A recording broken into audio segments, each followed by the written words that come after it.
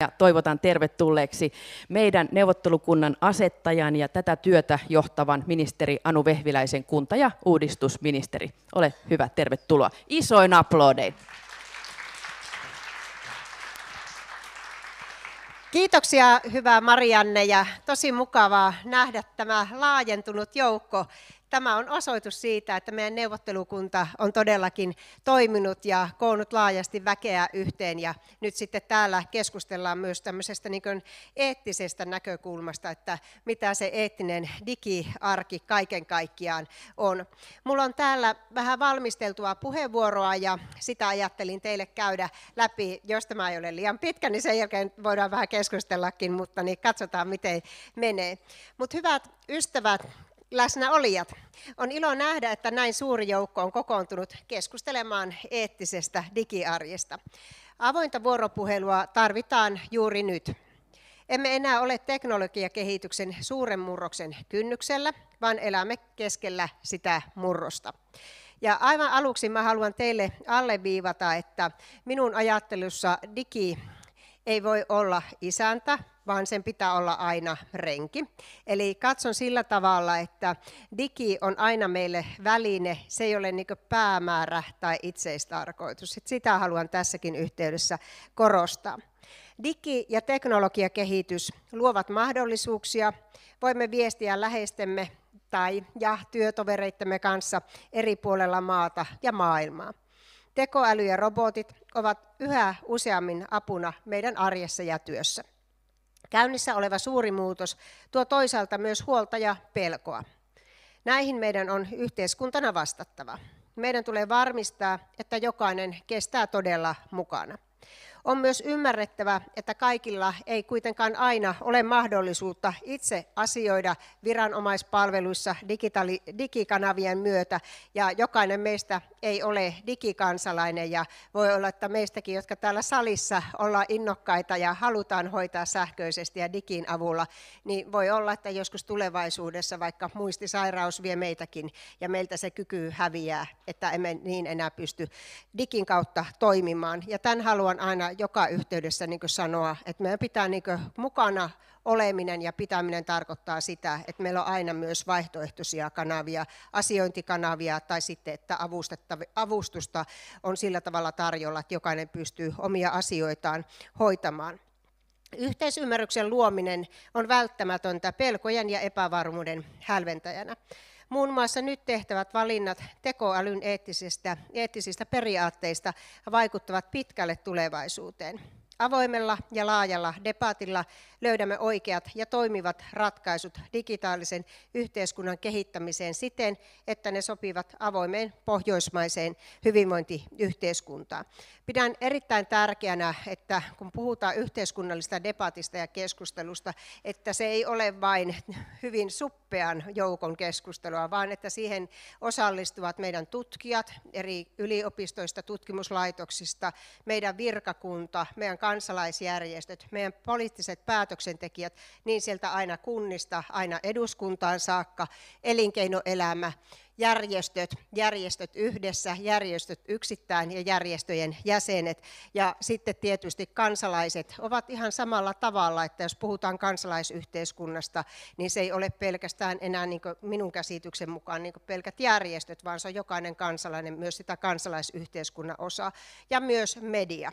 Ja tämän sanon tämän viimeisen asian senkin takia, että meillä aina silloin tällöin, tällöin näkyy myös aika raflaavia juttuja tuolla iltapäivällä lehdissä tai milloin missäkin lehdissä siitä, että mitä kaikkea hirveyttä tästä digistä nyt on seuraamassa ja niin päin pois. Ja se on tietysti totta, että melkein asiasta kuin asiasta saa raflaavan jutun, mutta sitten se myös vaatii meiltä myös sellaista medialukutaitoa, että me osataan niin laittaa asiat isompiin yhte- yhteyksiin, eikä vaan katsota sieltä niin pienestä vinkkelistä. Mutta laaja keskustelu vaatii laajasti ihmisiä mukaan. Julkinen hallinto on omaksunut uudenlaisia osallistavia tapoja yhteiseen kehittämiseen. Esimerkiksi ensi viikolla eduskunnalle annettava eettistä tietopolitiikkaa tekoälyn aikakaudella selonteko. Sitä on valmisteltu erittäin laajasti yli 200 henkilön voimin.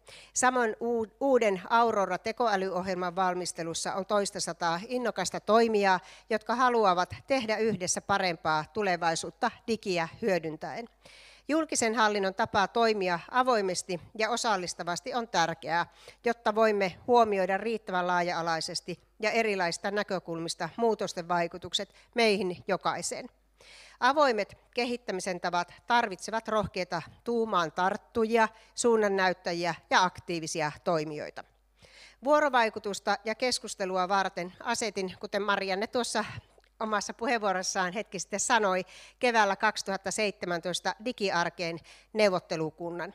Tavoitteena oli, että myös tämän seminaarin järjestäjänä toimiva neuvottelukunta toimii yhtenä yhteiskunnan silmänä ja korvana digitalisaatioasioissa.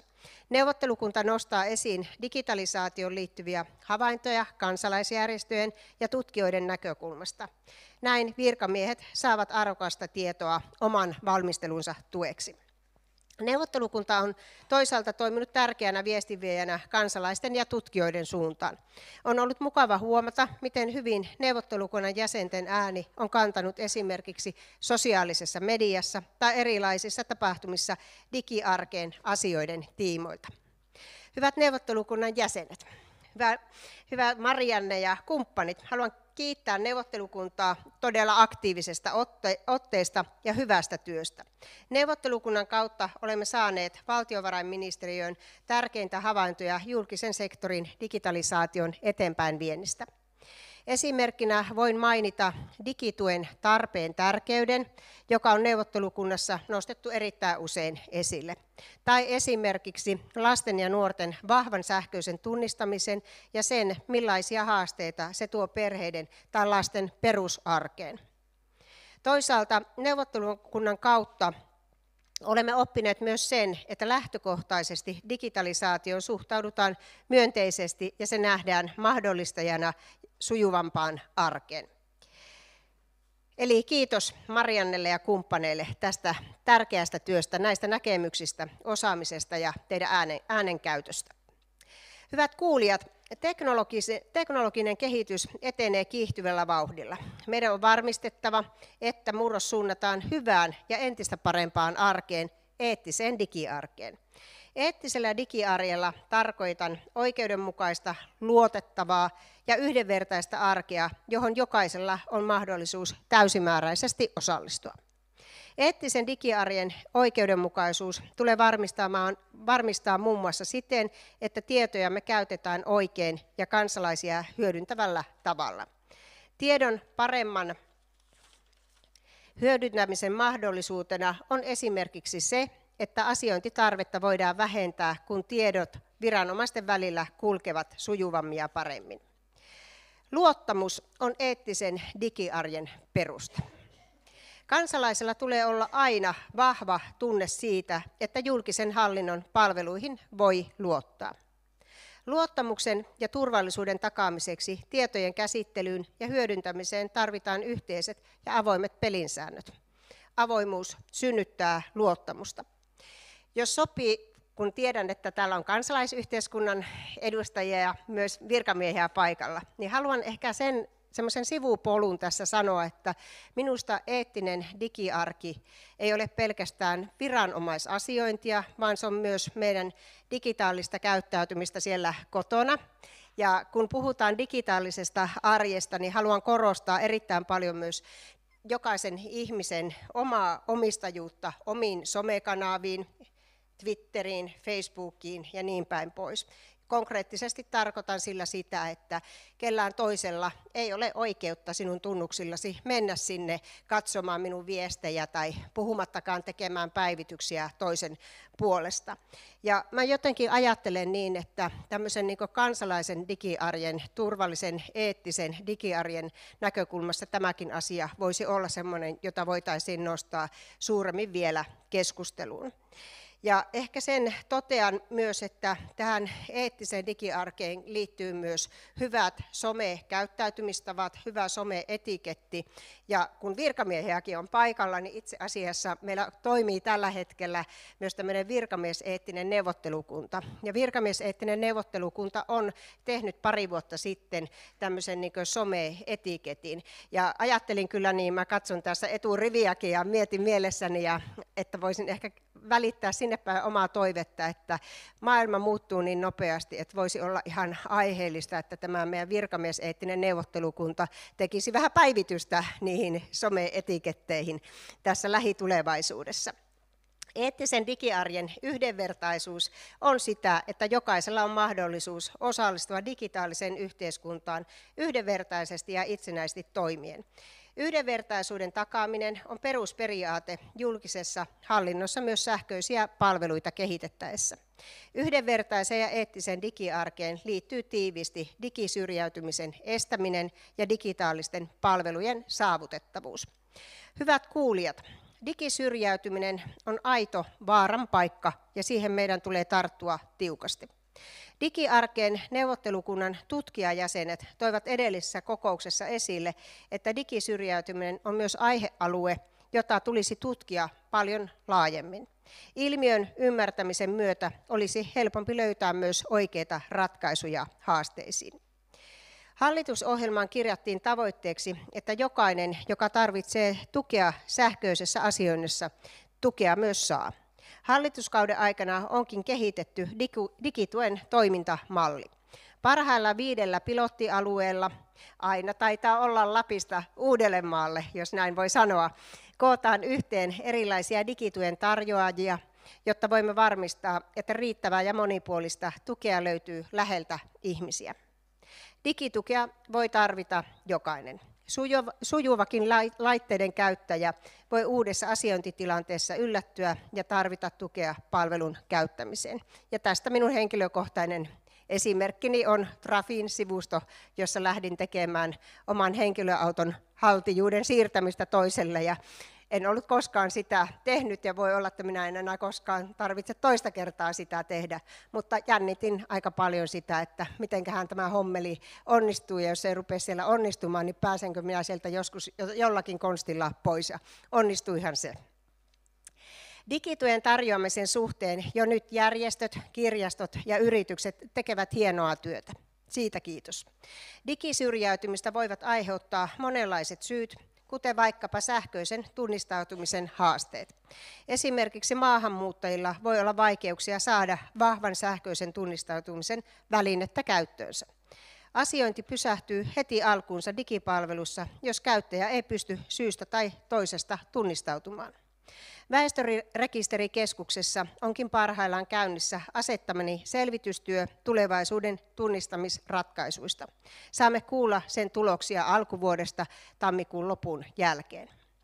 Digisyrjäytyminen voi johtua myös siitä, että kun kasvokkain tapahtuvat kohtaamiset viranomaisten kanssa vähenevät, jäävät omat asiat hoitamatta sähköisessä maailmassa. On tunnistettava ne hetket, joissa henkilökohtainen kohtaaminen on olennainen osa palvelua. Toisaalta kohtaamisen keinoja on useita erilaisia ja se voi tapahtua myös verkon välityksellä esimerkiksi videopalvelun kautta. Digipalvelut voivat myös auttaa ehkäisemään syrjäytymistä.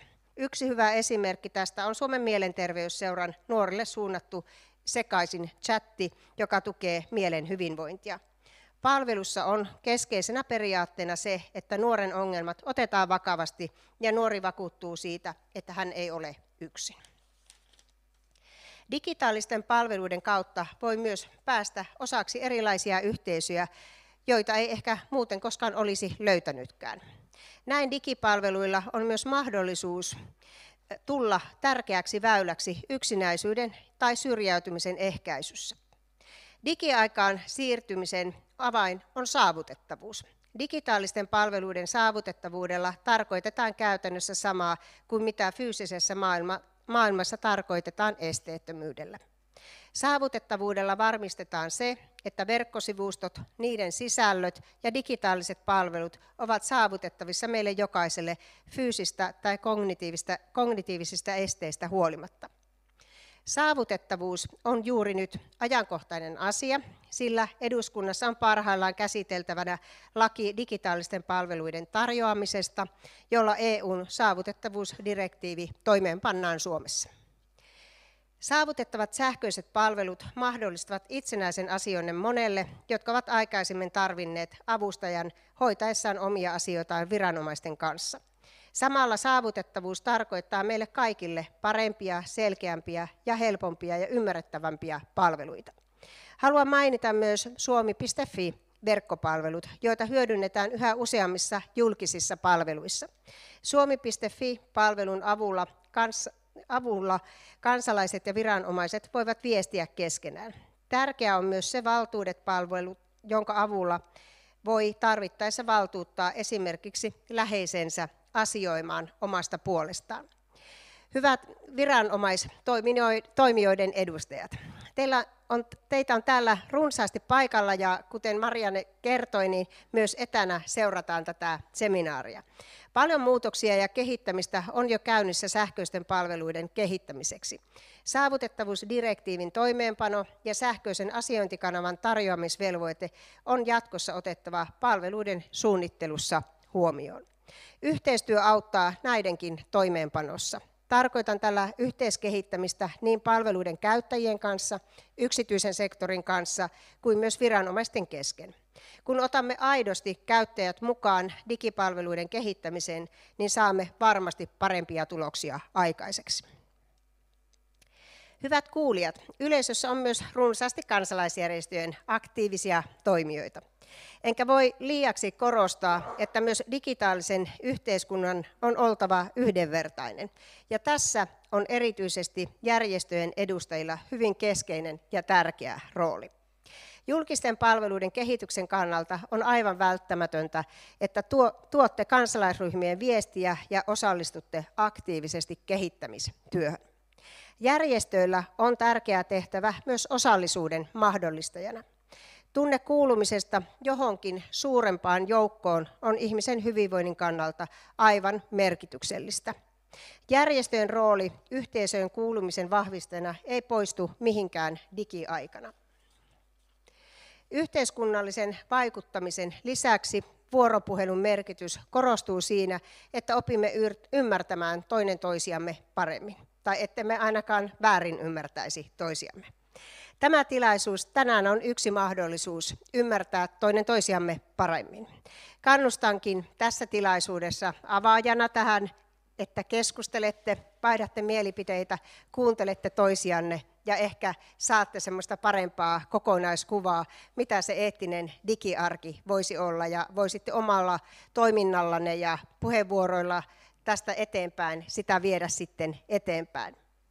Näillä sanoilla haluan toivottaa tälle seminaarille erittäin hyvää menestystä ja kiitän tosiaankin neuvottelukuntaa vielä työstä ja jos käsitän oikein, niin teillä vielä on myös neuvottelukunnan kokouksia. Ja sen haluan todeta, että kun neuvottelukunta asetettiin puoleksi toista vuodeksi, tämä ensimmäinen neuvottelukunta, niin toivon, että myös jatkossa seuraava hallitus haluaa, että Suomessa toimii digiarkeen neuvottelukunta. Ja aina voidaan myös miettiä sen kokoonpanoa ja myös sitten sitä, että mitkä ne painopisteet on, mutta mä luulen niin, että tämä ensimmäisen neuvottelukunnan puolentoista vuoden aikana, niin teille on tullut jo hyvä käsitys siitä, että mihin kannattaisi jatkossa panostaa ja uskon, että meidän virkamiehistö on tässä kohtaa niin sanotusti myös avoimena korvana ottamassa vastaan. Kiitos siitä, että sain tänne tulla. Kiitoksia.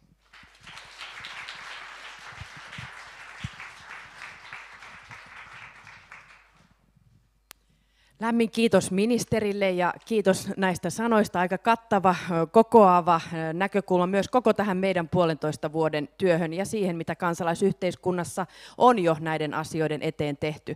Kiitos ministeri. Ja nyt hyvä osallistujajoukko, meillä on mahdollisuus muutamaan kysymykseen. Ministerille nostakaa käsi ylös, jos haluatte jonkun tarkentavan ennen kuin hän lähtee seuraavaan tilaisuuteen ja esitelkää samalla itsenne ja ketä edustatte, koska samalla kun tämä tulee tuonne verkkoon, niin, niin sitten kuullaan. Eli nyt muutama tärkeä kysymys. Edustatte sitten järjestöjä tai viranomaisia. Mitä haluatte tänään juuri tässä hetkessä kysyä ministeriltä? Olkaa hyvä, nyt rohkeasti. Käsi ylös. Minkälaiset asiat teitä tänä päivänä omassa yhteisössänne askarruttavat? Siellä on Ari Tammi, eli viedään mikki sinne, ole hyvä.